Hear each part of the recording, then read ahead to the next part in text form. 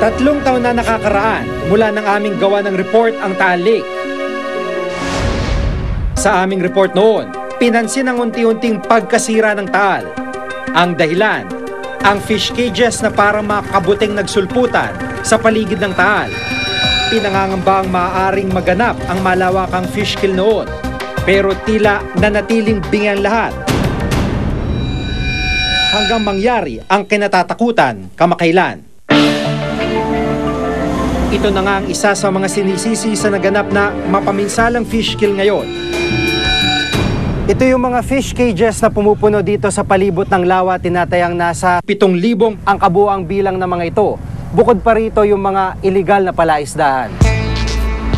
Ayon sa Bureau of Fisheries and Aquatic Resources o BFAR, 6,000 lamang ang dapat na bilang o kapasidad ng fish cages sa lawa.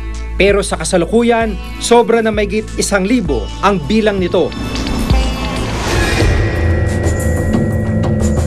Isang bayan ng Talisay sa may pinakamaraming bilang ng fish cages sa Batangas.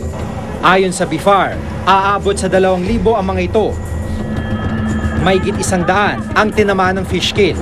masyado nang marami yung mga fish cages and fish pens in a particular site. And if these are improperly sited, ibig sabihin hindi na ila- nailagay sa mga lugar na dapat sila mailagay.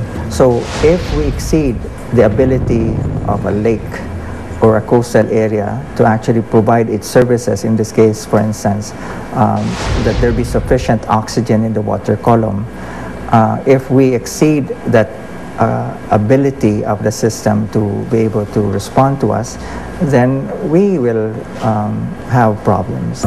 Malaking pera nagmumula sa fish cage operation sa Taal. Labing anim na libong piso ang kailangan bayaran ng operator sa munisipyo para makakuha ng plaka at makapagpatayo ng apat na fish cage. Kung susumahin, sa 7,000 bilang ng mga legal na fish cages ngayon, aabot sa 112 billion pesos ang papasok na pera sa isang taon. Ang perang ito ay napupunta sa Barangay Clearance Fee, Fisheries Aquatic Resources Management Council Fee at Mayor's Permit Fee. Kailangang i-renew permit na ito taon-taon. Kaya naman mas malaking pera kung mas marami ang fish cage sa lawa.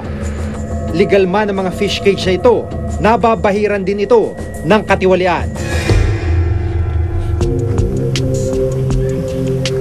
Si Julio, hindi niya tunay na pangalan. Pitong taon na siyang fish cage operator o namumuhunan. Sa tagal niya raw sa industriya, alam na niya kung gaano karami ang kalakaran sa negosyo ng pangisda sa kanilang lugar. Karamihan daw sa mga operator ng fish cage ngayon, pawang mga dayuhan. Kasi sila nga may kapital. Kami, kulang sa pang panlagay siguro. Hindi hindi ko hindi ko ma-assure na ganun talaga. O mahina lang kami sa sa nakaupo.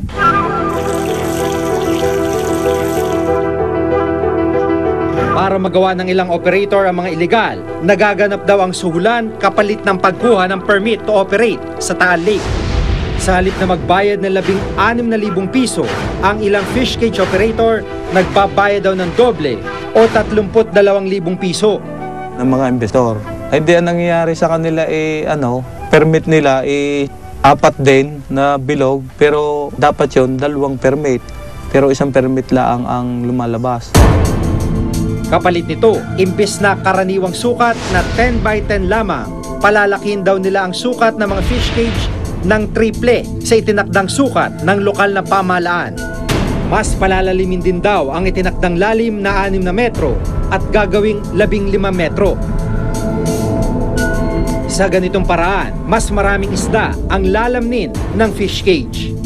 Ibig sabihin, mas malaking kita rin para sa mga namumuhunan. Doon sa circular, ang equivalent na dapat na mailaman niya is 50,000 fingerlings to 60. Eh, umabot siya ng 100,000, 90 to 100,000. So, okay lang sana siya pag maliliit, pero pag malalaki na, doon siya may problema. Maring itinanggi ng alkalde ng Talisay na may nagaganap na lagayan sa kanilang lugar. Walang lagayan na nangyari. Legal itong aming pag, pagka-increase ng tax. At ito nga ay dumaan sa public hearing. ah, normal proseso yung dinaanan namin. Wala, pare-pareho naman na binayaran nila sa tax. Ang nagbibigay naman ng ah, permit ay yung lokal na local government units. Ang pakiusap lang namin sa kanila, kung po pwede, gawing istrikto yung pagbibigay ng permit at sumunod sa guidelines. Pero aminado naman sila na may ilang operators na lumalabag sa tamang sukat at lalim ng bawat fish cage. Yung sukat, madali lang eh. Pero yung isa-isa, hindi mo naman masusubaybayan yung bawat isang cage. Ilan ba ang inilalagay mo diyang isda? Hindi napakahirap. So, ang kakulangan ay ang sa personnel, sa mga tauhan na kailangan mag-monitor. Siguro kailangan dagdagan ang mga taong magmo-monitor sa lawa. Kung may bayad ang mga legal na fish cages sa Taal, lalo na ang mga nakakapuslit na illegal fish cages. Ayon sa Republic Act 8550 o ang Fisheries Code of the Philippines, ipinagbabawal ang anumang pagtatayo ng fish cage, fish pens, nang walang kaukulang permiso. Papatawan ng 2,000 hanggang 10,000 pisong multa ang sinumang lalabag dito o isang buwan hanggang anim na buwang pagkakakulong ang parusa. Aminin ko, limitado rin ang aming resources. Sa katunayan, dadalawa lang po ang aming motorized bangka sa, para sa lawa ng Taal. At ah, kulang po ang aming tauhan. Ganun pa man, sinisikap po ng ating Taal Lake Task Force na gawin ang makakaya at ang lahat para siguraduhin walang makakapagdagdag ng fish cages sa lawa ng Taal. Gayunman, malaking katanungan kung bakit nagpapatuloy ang pag-ooperate ng mga illegal fish cage sa kabila ng pagbabawal nito.